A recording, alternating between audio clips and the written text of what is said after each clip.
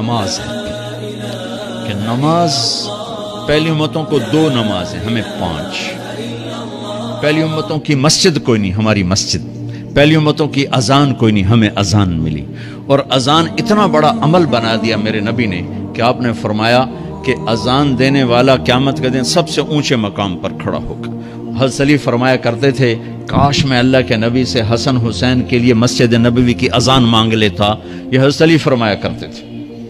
اور جنگ قادسیہ میں معزن زخمی ہو گیا تو اذان دینے کے شوق میں سردار آپس میں الجھ گئے کہتا میں دوں گا کہتا میں دوں گا، پھر قر اندازی ہوئی جس سے جس کا نام نکلا، اس نے اذان دی۔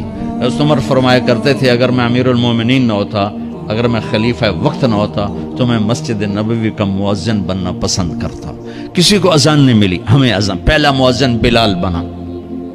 پہلے معزن اللہ نے بلال کو یہ عزت عطا فرمائی۔ دنیا میں یہ ہے اور آخرت میں یہ ہے کہ میرے نبی نے فرمایا کہ جب جنت میں جانے کا وقت آئے گا نا، تو جنت کی میرے لیے سواری لائی جائے گی۔ میں اس سواری پہ بیٹھوں گا، تو اس کی جو وہ رسی ہوگی نا، وہ ایسے نیچے گر جائے گی۔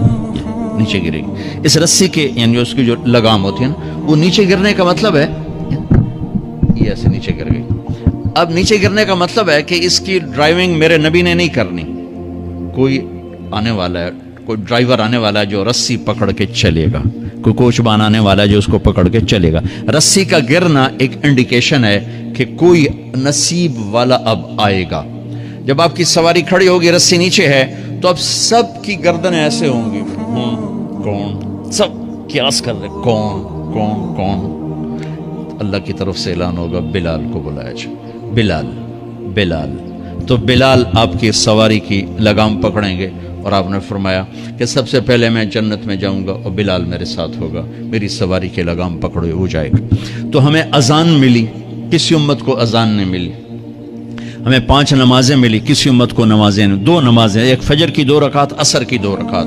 باجماعت نہیں، ان کو ان کو اپنی کتاب یاد نہیں، ہمیں قرآن یاد ہے۔ میرے مدرسے میں ایک بچہ، اب ماشاءاللہ امریکہ میں وہ پڑھا رہا ہے، اس نے تیس دن میں قرآن یاد کیا۔ صبح یاد کرتا تھا، شام کو تراوی میں سناتا تھا۔ میرے مدرسے کا بچہ ہے۔ صبح بیٹھ کے مغرب تک پورا ہے، سپارہ یاد کر کے اور عشاء کو تراوی میں سنا دیتا تھا۔ اللہ نے میں ایسا قرآن دے دیا کہ ایک مہینے میں بھی یاد ہو جاتا ہے۔ تین دن میں بھی ایک بزرگ نے یاد کیا۔ تین دن میں قرآن یاد کیا۔ اللہ نے ہمیں قرآن کی دولت عطا فرمائی۔ پڑھنے کے لیے پانچ نمازیں عطا فرمائی۔ تہجد کی نماز عطا فرمائی۔ اوابین کی نماز دی، اشراق کی نماز دی چاشت کی نماز دی۔ نماز کے کتنے دروازے کھول دیے۔ اور میرے نبی کی آخری نصیحت تھی، میری امت، نماز نہ چھوڑنا، نماز نہ چھوڑنا، نماز نہ چھوڑنا۔ اور اس چودہ صدی میں کوئی موقع ہے نماز چھوڑنے کا؟ تو وہ میرے نبی کے نواسے کی کربلا کا ہے کہ جب ظلم بھی انتہا پر تھا اور مظلوم بھی اپنی آخری حدوں پر تھا اور کائنات نے نہ ایسا ظلم دیکھا، نہ ایسے مظلوم دیکھے، نہ ایسی پاکیزہ ہستیاں دیکھی نہ ایسے درندے دیکھے۔ تو سورج ڈھلا نماز کا وقت ہوا ہے۔ تو آپ نے سبحان اللہ، آپ نے زہر سے فرمایا کہ شمر سے کہو نماز پڑھنے دے نماز پڑھنی ہے، امت کو پیغام دینا ہے کہ یہ کسی حال میں چھوڑنے کا کام نہیں ہے۔ تو انہوں نے آگے بڑھ کے شمر سے کہا نماز پڑھنے دو، انہوں نے کہا نہیں، نماز نہیں پڑھنے دیں۔ گے ہماری تلوار چلے گی۔ انہوں نے واپس آ کر کہا جی وہ کہہ رہے ہیں ہم جنگ نہیں روکیں گے، تلوار چلے گی۔ تو پھر یہ نہیں، فرمایا اچھا چلو ٹھیک ہے۔ سر دے ہو۔ فرمایا اچھا آدھے نماز پڑھو، آدھے جنگ کرو۔ آدھوں نے نماز پڑھی، آدھوں نے جنگ کی۔ پھر انہوں نے جنگ کی اور پہلوں نے نماز پڑھی اور اثر سے پہلے سب کے سر کٹ کے نیزوں پہ چڑھ گئے۔ یہ وہ ہستیاں ہیں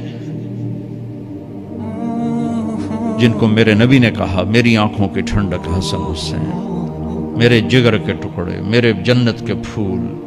پتہ نہیں کیا کیا تشبیحات دی ہیں میرے نبی نے۔ اب جنت کے نوجوانوں کے سردار حسن اور حسین۔ اور پھر نماز نہیں چھوڑی۔ ان کو جنت کی بشارت تو ماں کے دودھ پیتے مل گئی تھی، کربلا کی وجہ سے نہیں ملی سرداری ان کو۔ وہ تو ان کے سر کا سہرا ہے الگ۔ ان کو سرداری جنت کے ملی ماں کا دودھ پیتے ہوئے کہ جنت کے نوجوانوں کے سردار ہیں حسن اور حسین، نماز نہیں چھوڑی۔ میرے عزیزو، نماز نہ چھوڑ اللہ کا شکر ہے میں آپ بچوں کو دیکھ کے مجھے اپنا کالج کا دور یاد آ رہا ہے۔ ہمارے دور میں ایک نعیم الدین صاحب گورنمنٹ کالج لاہور میں تبلیغ کا کام کرتے تھے۔ اور وہ اکیلے ہی نماز پڑھتے تھے، کوئی نمازی نہیں ہوتا تھا۔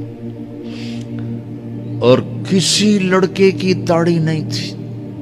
کسی لڑکی سوا سے ایک نعیم الدین۔ کی اب ہر کالج میں جائے، داڑھیوں والے بچے نظر آتے ہیں، ٹوپیوں والے بچے نظر آتے ہیں۔ کوئی لڑکی کے سر پہ دوپٹہ نہیں ہوتا تھا، کوئی ایجوکیشن تھی۔ اب لمز جیسی یونیورسٹی میں بھی لڑکیاں پورے برقے میں ہوتی ہیں، حجاب میں ہوتی ہیں، نقاب میں ہوتی ہیں۔ جہاں برائی کا گراف اوپر گیا تو نیکی کا بھی اوپر گیا۔ جہاں برائی کا لیول اگر بڑھا ہے تو نیکی کا لیول بھی بڑا ہے۔ اتنا بڑا میری نسل کا مجمع اللہ کی بات سن رہا ہے، یہ اس دور میں کوئی تصور نہیں کر سکتا تھا۔